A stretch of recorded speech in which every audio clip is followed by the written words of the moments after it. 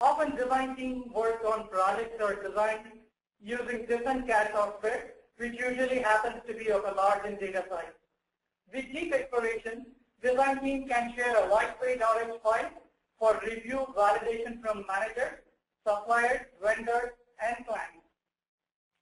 We have a free viewing tool that's called Deep View, which can be freely downloaded. And that's how it looks like. This allows people to view files, create an edit markup for further use. Now me as a technical manager, all I have to do is just drag and drop the file into View. Most of the time, I may not work on these applications, but for reviewing the content and passing on the suggestions. Hence, this drag and drop simple, easy way to use for me. Here is typically the scene tree the way we saw it in uh, deep exploration. It allows us to navigate through the assembly by enabling and disabling them. The first step for us would be to go ahead and see if the markups that we created are really available there. The last one that I created was on the bottom of this, that I created few dimensions. These are the different views. They are the earlier markups. There we go and we have all the markups that are available for us to really go ahead and append on them. Few other functionalities here would be create quick measurements distances, angles, extrapolate them, and so on. Starting back onto the basic view, it has the same functionalities like the pull apart tool.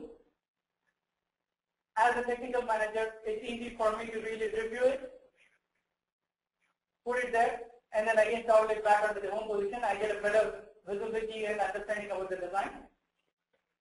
I would be able to section them, view them still into much intricate details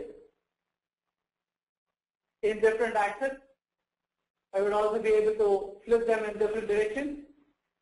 Now once I get a better clarity what this design is speaking all about, I can also visually compare it with another motorbike design that was earlier created that would give me a real comparison between both of these.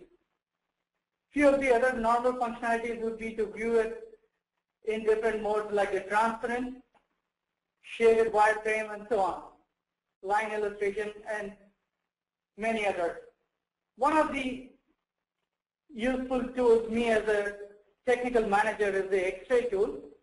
As in when I select onto a particular part, it gives me the interiors of this part, how these two components have been assembled together, and so on.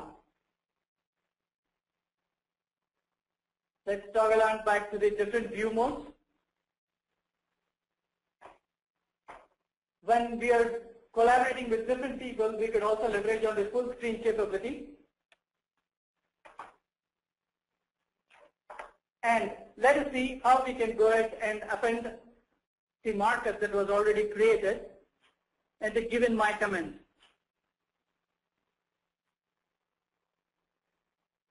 I just need to double click on that and I go ahead and give my suggestion.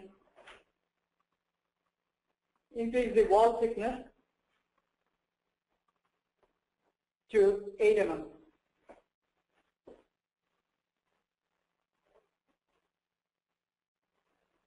In the model view, for the convenience, I can again toggle back onto the normal position and just save this file back in RH format. Let me give you the convenient name.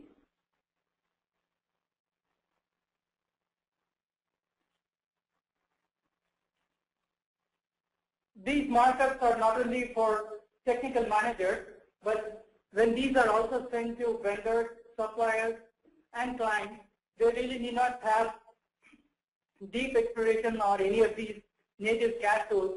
They will be able to freely download this tool from the website and review these designs and pass the comments.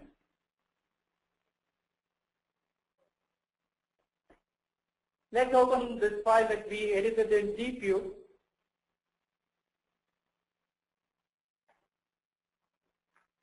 and see if the comments that we updated are available there.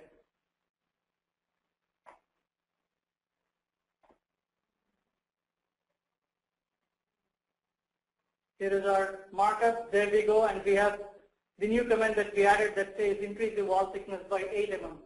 This way, we can seamlessly communicate between the reviewers, clients, suppliers, and the design engineers. Now, apart from this, DeepView can very well be used for collaboration. As in, I can create a conversation here.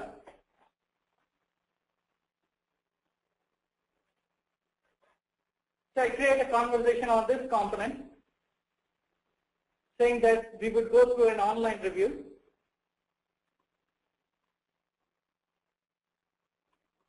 Let us discuss this with the plastic team.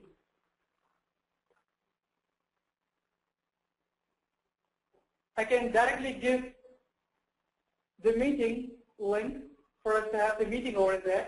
There you go and the link is activated. When I save this file and send it back to the design engineer, he gets the direct link and all the stakeholders would be able to collaborate online. Here it takes the login ID from my system. It talks about when this was created and we can categorize all these conversations all along. Now not only that, it's technical users, it believes that for one technical person, there are at least 10 non-technical people having the need to access the design for various needs. Even non-technical people in my company use View, as in this is a purchase order in an Excel file raised, and these View create interactive thumbnails on them, adding in a lot of value to Microsoft application. Similarly, onto a Word here that we see there top on screen, that we are able to interact with it, pull it apart, and all the normal functionalities of View. I apologize for going off track. It is just the excitement that Right Hemisphere gives all these functionalities for free without a need of a license. So this was an overview of markup and design review via deep exploration and deep view for design communication and collaboration.